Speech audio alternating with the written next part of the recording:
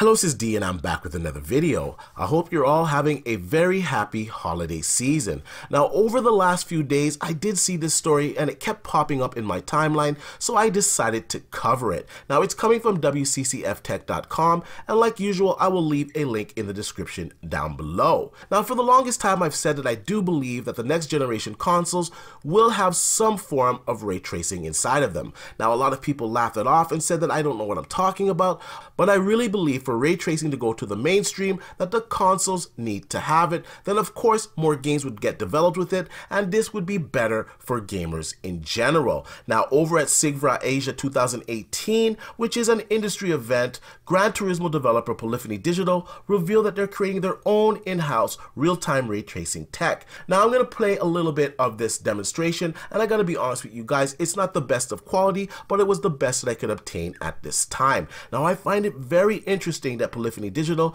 is developing ray tracing tech for its Gran Turismo game. The first question is why would they do this if the PlayStation 5 console is not capable of doing ray tracing? I don't think they would use all of this manpower and the resources on a wasted effort of ray tracing if it was not to appear in their next game. And of course, the next Gran Turismo game will be on the PlayStation 5. Now, a few months back, AMD did say that they will have ray tracing on deck in 2019 when ray tracing tracing goes to the mainstream. Now we know that the next generation consoles, both the Xbox and PlayStation iterations, will have AMD hardware in them. Now these consoles will have to last at least three to four years, and I can't see these consoles being developed without ray tracing in mind, especially the next generation Xbox console, which of course Microsoft is at the helm of DX12 ray tracing, which Nvidia is using at the moment. And I know some of you guys out there are going to say, oh, but Gran Turismo already has ray tracing. Now let's be honest, the ray tracing that is in the current version of Gran Turismo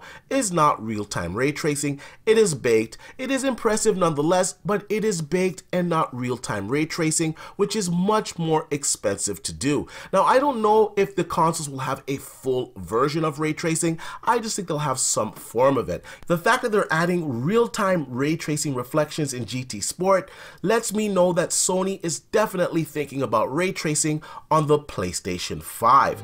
Anyways, I want to know what you guys think, so please leave your comments down below. And like I usually say, please like, share, and subscribe to the channel. And I'll see you guys on the next one.